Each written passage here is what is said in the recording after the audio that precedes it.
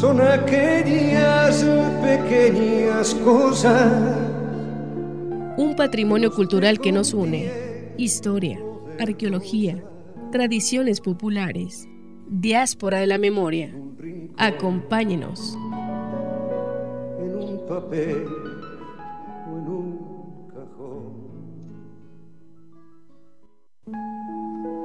Muy buenos días, eh, tengan todos ustedes, sintonizan la estación correcta, el 88.1 de FM de Radio Universidad.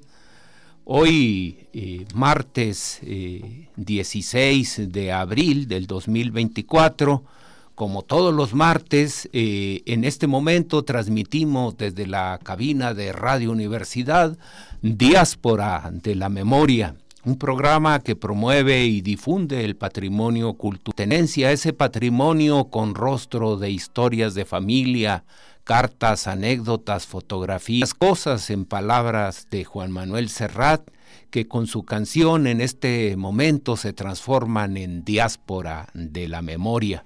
Este programa, como usted lo sabe, se produce gracias a la colaboración entre la Universidad Autónoma de Chihuahua y el Instituto Nacional de Antropología e Historia. Les habla al micrófono su amigo Jorge Carrera Robles, quien agradece a Mariana Mendoza Sigala, la producción ejecutiva, y a Mari Mascorro, como siempre, por su apoyo en los controles técnicos que hace posible que usted, donde se encuentre, escuche Diáspora de la Memoria. Esta mañana eh, estaremos refiriendo a los 40 años eh, de la delegación del Centro eh, Chihuahua del Instituto Nacional de Antropología e Historia. Tenemos dos invitados especiales, pero antes de dialogar con ellos del quehacer que ha sido eh, de las actividades desarrolladas este, en, en, esta institución a lo largo de cuatro décadas, eh, vamos a escuchar la cápsula del patrimonio cultural en pocas palabras que esta mañana nos tiene preparada eh, Mariana Mendoza. El 16 de marzo de 1984, la delegación de Lina en el estado de Chihuahua, dependiente hasta entonces del Centro Regional Norte, ubicado en Torreón, Coahuila, obtuvo su denominación oficial como Centro Regional Chihuahua, quedando su sede base en la capital chihuahuense. Desde entonces y durante cuatro décadas ha venido atendiendo las necesidades en materia de patrimonio arqueológico, antropológico e histórico de la entidad. A 40 años de su fundación, entre otras actividades conmemorativas, el Centro INA Chihuahua ha organizado del 15 al 19 de abril un coloquio que contempla el diálogo, e intercambio de opiniones en diversos temas como la arqueología, antropología, archivos, museos, resguardo de bienes, tareas administrativas y manejo de zonas arqueológicas, con el fin de dar a conocer las acciones más relevantes actuales de la institución. Este coloquio del Centro INA Chihuahua es un encuentro de sus trabajadores y trabajadoras, quienes compartirán experiencias vividas a lo largo de este tiempo 40 años pareciera fácil, sin embargo ha representado una constante transformación, aprendizaje y una ardua labor que conmemora un pasado lleno de vestigios, empapados de saberes y la voz de la experiencia. Los años pasan y a pesar de que el tiempo no pareciera detenerse para nadie, gracias al trabajo de Lina podemos hacer una especie de pausa en la dinámica del patrimonio cultural y con ello dimensionar el valor que tiene nuestra historia y cultura. Para el patrimonio cultural en pocas palabras, informó Mariana Mendoza.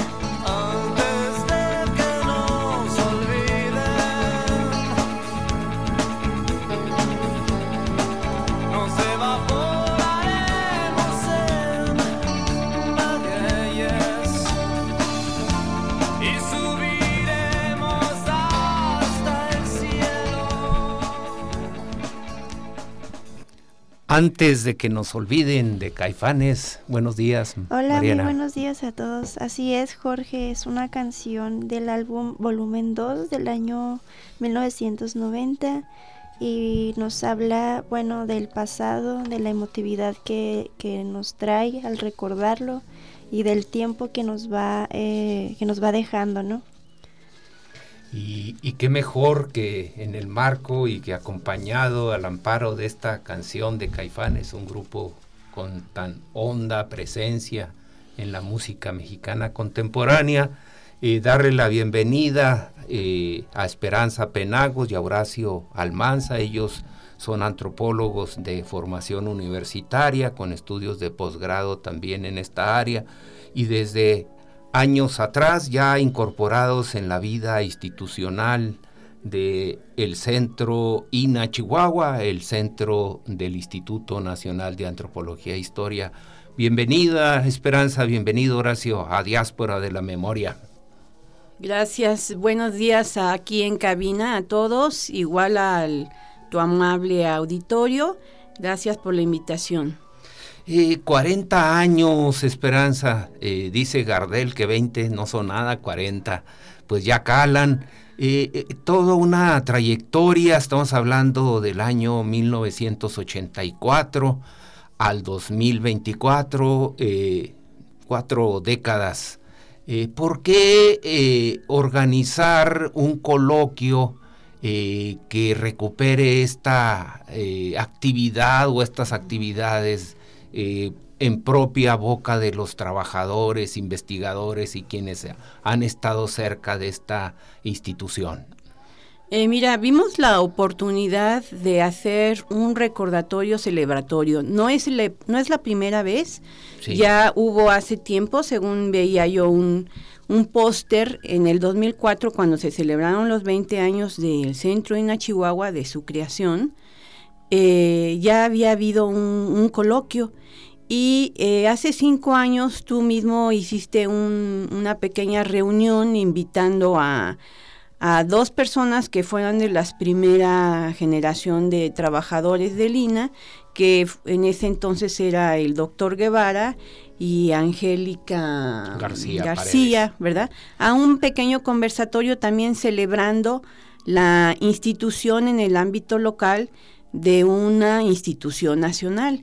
Entonces, este año un compañero recién em, que ha entrado a, a, Lina, es arqueólogo, él fue el que nos hizo el recordatorio, oigan, en poco tiempo vamos a cumplir 40 años, vamos a armar un, coloquio y lo vimos como la oportunidad para festejar por primera vez un coloquio eh, conmemorativo a un cuarto aniversario del Centro INA Chihuahua y lo quisimos hacer también en consonancia con el cumpleaños 85 del Instituto Nacional de Antropología e Historia. Y en esto de repente hay palabras muy duras que al público les parece inaccesible como coloquio, pero no es un coloquio académico, lo entiendo, Esperanza. Sí, no, era es un es un coloquio para conmemorar, para celebrar la evolución, el dinamismo de una institución que empezó como vamos a decir, ayer en un escritorio. Es una plática. Exactamente. Cotidiana, por así decirlo. ¿Y, y solo especialistas o quienes participan en el coloquio? Mira, eh, incluso la, fue convocatoria abierta a todos los trabajadores. Vamos a tener gente que es custodio. Incluso ayer en el WhatsApp ya tenemos eh, dos mesas, dos conversatorios, vamos a llamarle así, el día de ayer. Uno de los compañeros en WhatsApp o ahí en el chat de, porque es una, un coloquio virtual, ¿verdad? Eh, pues seguramente era custodio, ¿verdad? Y decía que estaba emocionado de vernos, porque tal vez estará en la zona arqueológica de 40 casas o no sé dónde sea custodio y no ha venido, no ha tenido la oportunidad a, a venir a las oficinas centrales. Entonces es un coloquio que integra a todos los trabajadores en activo o que estuvieron en el centro INA pero que se han jubilado. Ahora, quiero decir, no están todos, ¿verdad? Fue una convocatoria que tuvo muy poco tiempo para emitirse en nuestras redes internas.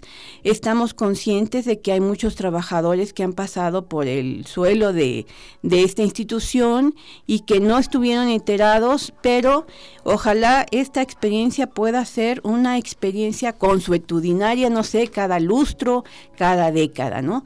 No están todos, estamos en deuda con aquellos que no, no invitamos, tampoco fue el, el tiempo, ¿verdad?, para organizarnos, pero todos los que colaboramos en este coloquio somos y fuimos trabajadores de esta institución. Eh, entiendo que se organiza el trabajo por mesas. ¿Cómo se llevan a cabo estas mesas y a qué horas eh, eh, es esta actividad? ¿Cómo accesar a, a esas mesas? Eh, mire, eh, es un coloquio conversatorio virtual, ¿sí?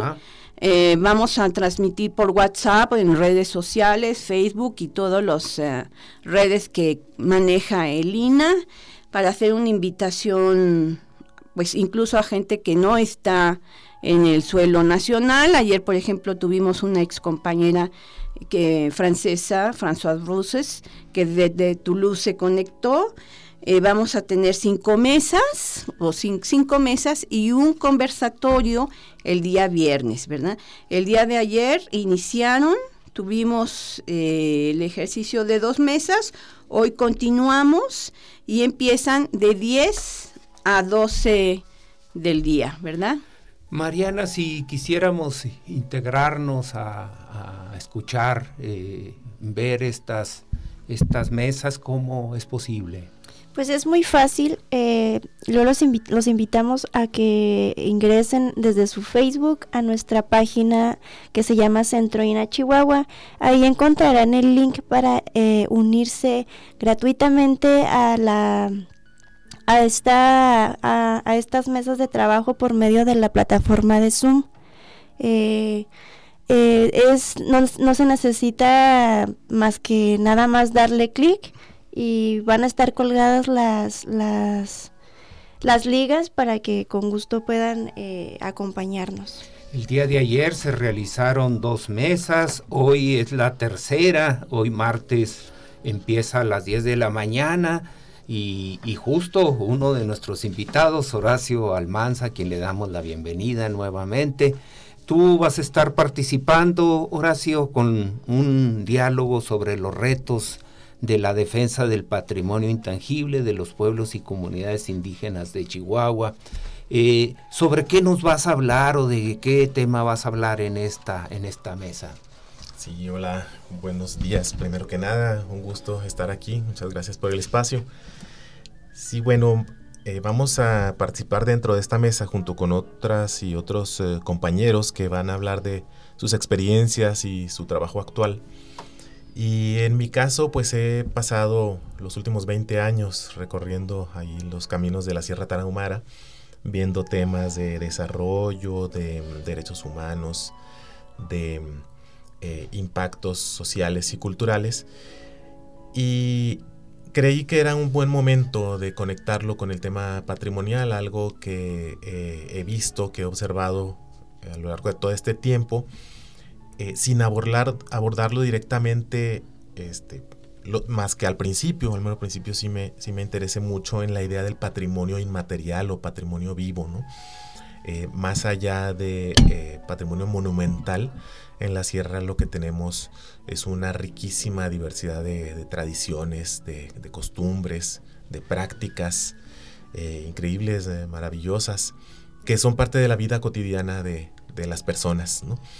Eh, y que muchas veces por su belleza y colorido asociamos a cuestiones artísticas, por su, calidad este, estética. Sin embargo, a diferencia de estos ámbitos, traen detrás de sí una larga historia, este, condiciones sociales, culturales que fueron propicias para eh, dar origen a lo que eh, actualmente existe y en ese sentido quisiera hacer una reflexión acerca de esa, de esa riquísima historia y cultura. Pues muchísimas gracias, Horacio. Igual en esta mesa estará Francisco Mendiola desde la ciudad de Puebla. Él estuvo por muchos años aquí en Chihuahua eh, participando en esta institución y nos va a hablar de esos años en el centro INA Chihuahua en los noventas, Esperanza. Sí, sí, sí, Francisco Mendiola es pionero en la investigación del arte rupestre en México, ¿verdad? Y el lugar en donde desarrolló su, su investigación, eh, pues fue inicialmente eh, Sinaloa y después eh, llegó aquí a Chihuahua, donde, bueno, nos dejó para irse al centro de Ina Puebla hace algunos años, pero desde allá está haciendo todavía investigación sobre el arte rupestre, ¿no? Y bueno, pues decirle al público que no se asuste, no son participaciones de dos horas, son 20 minutos, 15, 20 minutos, todas ellas acompañadas de imagen, de eh, en ocasiones pequeños videos, fotografía, y, así se va a estar hablando también eh, Gerardo Batista sobre las recreaciones de la boda de Luz Corral, Víctor Ortega de la arqueología en el sur de Chihuahua, Eduardo Gamboa la conservación e investigación en Paquimé y América Malbrán de la arqueología histórica de Chihuahua. Bueno, pues hacemos un corte, no se vaya, seguimos conversando para este, lo que va a ser las siguientes mesas. Hacemos un corte musical para escuchar algo sumamente importante y trascendente de Oscar Chávez.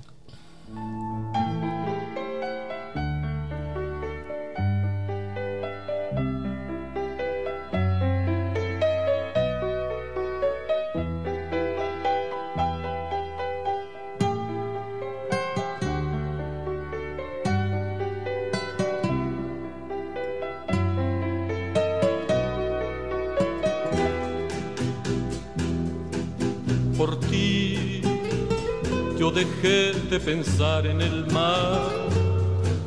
Por ti yo dejé de fijarme en el cielo. Por ti me ha dado por llorar como el mar. Me he puesto a sollozar como el cielo. Me ha dado por llorar.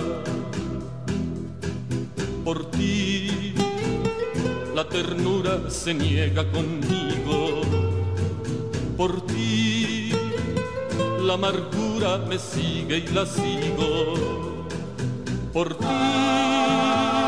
Me estoy volviendo loco de celos, se vuelven contra mí mis anhelos, se vuelven contra mí. Oscar Chávez, el, el inolvidable Caifán, las semanas anteriores murió Ernesto Gómez Cruz, un actorazo de primera.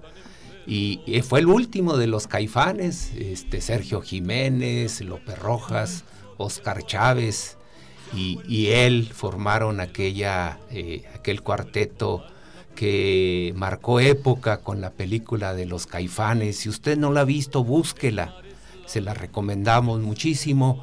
Y bueno, este cantante, este compositor, Oscar Chávez, sin duda, siempre presente en los años 70, 80. Sin ti, Mariana, es una gran composición. Así es. Esta canción eh, viene del álbum Los Grandes Artistas, concierto en Bellas Artes, como mencionas, pero desde el año de 1974. Pero que hasta la época, 50 años, eh, siempre presente en la música, este, en la buena música de las casas, eh, de, los grupos y de los encuentros entre, entre amigos. Y, en ese encuentro entre amigos, ese es el valor de compañeros, Esperanza, de este coloquio, sin duda. Sí, así es, como tú señalaste, no es un coloquio estrictamente hablando, un coloquio académico, es un conversatorio de la gente que elabora en el centro INA, ¿verdad? ¿Por qué es tan válido hacer esto en un ejercicio institucional donde regularmente cuando se habla de trabajos es falta de recursos, problemas, que no nos hablamos bien, esto, lo otro? Eh, ¿Cómo reivindicar esto de una manera tan sencilla, Esperanza? Mira, eh, este coloquio a mí se me hace interesante, importante, porque se muestra el dinamismo de una institución. ¿No? Una institución dinámica que evoluciona ¿sí? Para bien o para mal, que crece. Ayer el doctor Guevara, uno de los asistentes al primer conversatorio, decía, el centro INA era yo y mi portafolio, ¿sí? Entonces, ahora vemos mal que bien, con eh, presupuestos cortos, demás, ¿verdad? Con eh, personal eh, capacitado, pero que sigue y, y tiene la obligación de darle continuidad a su capacitación, ¿verdad? Entonces, sí vemos cosas que podrían estar mejor pero eh, eh, la posición del doctor Guevara, la enunciación que hizo, me, me fue sumamente ilustrativa. Cómo institución ha crecido, ha evolucionado, ¿verdad? Y cómo, este, pues hoy en esa labor eh, se mantienen activos dos museos profundamente comprometidos con la vida de Juárez, el Museo de la Revolución y el Museo de Paquimé, que marca un hito en la región noroeste del estado, pero también está este, una labor permanente en las zonas arqueológicas, eh, tres de ellas en madera, dos en, casas grandes, ya lo hemos estado diciendo en este micrófono, pero la otra vertiente, Horacio, es el quehacer de la investigación, eh, el aporte que hacen los investigadores en el día a día. ¿Qué tiene de significado en estos 40 años para ti? Sí, bueno, pues es, eh, es, es riquísimo. Yo destacaría, primero que nada, pues la larga trayectoria del propio instituto, 85 años que, va a cumplir, pues no es poco, es una de las instituciones más longevas de, México, con un trabajo pues de verdad admirable. Eh, y no podemos negar que a todas y todos nos atrae el tema de nuestra cultura, nuestra historia, la arqueología. Simplemente lo podemos ver en las noticias, hay apartados especiales para hablar de los últimos descubrimientos, para hacer mencionar pasajes de la historia y a todos nos gusta, a todos nos atrae y, leemos y lo hacemos pues de manera este, muy ávida, ¿no? Entonces, eh, eh, el trabajo de Lina realmente es monumental y a nivel local, no se diga, es tan solo un botón de muestra de la riqueza cultural del Estado. Y la investigación es fundamental en este sentido porque finalmente es la base para conocer más que es un universo realmente todavía lo que queda por conocer y comprender más. De ahí partimos para realizar otras actividades, otras acciones de protección, de conservación, de difusión. Y en ese sentido, este, pues yo resaltaría el papel de muchas y muchos de nuestros compañeros y excompañeros que, que han dedicado su vida a, esta, este oficio, a esta labor, y lo han hecho en condiciones muy adversas y gracias a su compromiso y entrega, pues ahora contamos con, estudios muy profundos y muy valiosos que vale mucho la pena que se den a conocer. Y justo te toca el viernes como último, como última actividad del, coloquio, Horacio, coordinar, moderar una mesa eh, de génesis y desarrollo del centro INA. Eh, ¿Quiénes estarán participando en, ella? Sí, bueno, pues este conversatorio, como, como su nombre lo dice, es más como en un plan eh, de, de, charla, ¿no? de, conversación, ¿no? de plática entre un conjunto de personas que ya tienen una larga trayectoria eh, realizando investigación en Chihuahua o tiene muchas historias que contar. Sí, y este, y pues van a, a platicarnos acerca de esas experiencias tenemos a, la investigadora Ruth Arboleida, al arquitecto Antonio Guerrero Arzaga, al arqueólogo Rafael Cruz Antillón, al arqueólogo Francisco Mendiola Galván y a la antropóloga eh, Sofía Pérez Martínez. Como decía ahorita, todas y todos ellos tienen cosas riquísimas que contarnos. Este, yo creo que nunca es suficiente cuando se trata de hacerles preguntas, de pedirles que nos platiquen sus anécdotas, sus historias y su propia interpretación del trabajo de Lina. Eh, lo pudiéramos eh, resumir que las instituciones no son entes eh, fríos, las instituciones las hacen las personas en el día a día y estas cinco eh, personas, estas seis personas, junto contigo en la moderación, pues están dándonos cuenta de su visión, de su actividad, de su aporte, de las problemáticas que, que se han enfrentado a lo largo de estos 40 años. Pues muy bien, muchísimas gracias Esperanza, Horacio. Un gusto tenerlos aquí en Diáspora de la Memoria. Es eh, eh, un, gusto eh, estar anunciando esta posibilidad para usted que se interesa en, en, este conversatorio, en este coloquio. Eh, insistimos, Mariana, cómo conectarse este, a la red, a la plataforma para, para escuchar las pláticas de la, del coloquio. Así es, este, los invitamos a que nos, nos busquen en Facebook como Centro INA Chihuahua y también en Twitter eh, con el mismo nombre, Centro INA Chihuahua. Ahí encontrarán los links para unirse a esta plataforma Zoom. Es, eh, cualquier persona puede hacerlo y pues los estaremos esperando. Hoy a las 10 de la mañana, eh, igual el, miércoles a las 10 de la mañana, el jueves también y el viernes a las 10 de la mañana también. Así que ya lo sabe usted, eh, entre a la página de Facebook, Centro INA Chihuahua, y busque coloquio 40 años del Centro INA Chihuahua.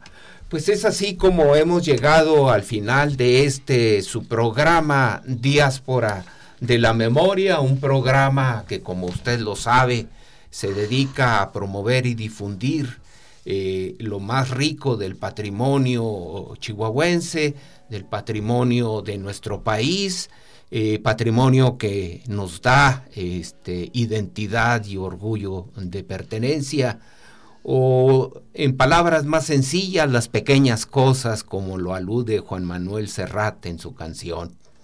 Eh, lo esperamos, las esperamos el próximo martes en una nueva cita aquí en Diáspora de la Memoria.